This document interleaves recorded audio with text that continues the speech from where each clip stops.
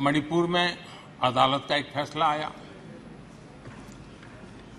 अब अदालतों में क्या हो रहा है वो हम जानते हैं। और उसके पक्ष विपक्ष में जो परिस्थितियाँ बनी, हिंसा का दौर शुरू हो गया। और उसमें बहुत परिवारों को मुश्किल हुई। अनेकों ने अपने स्वजन भी खोए। महिलाओं के साथ गंभीर अपराध हुआ। और ये अपराध अक्षम्य है।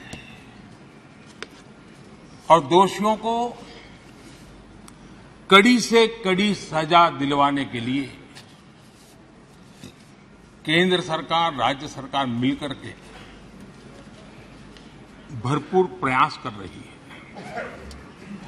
और मैं देश के सभी नागरिकों को आश्वस्त करना चाहता हूँ कि जिस प्रकार से प्रयास चल रहे हैं, निकट भविष्य में शांति का सूरज ज़रूर उगेगा। मणिपुर फिर एक बार नए आत्मविश्वास के साथ आगे बढ़ेगा। मैं मणिपुर के लोगों से भी आग्रहपूर्वक कहना चाहता हूँ। वहाँ की माताओं, बहनों, बेटियों से कहना चाहता हूँ, देश आपके साथ है।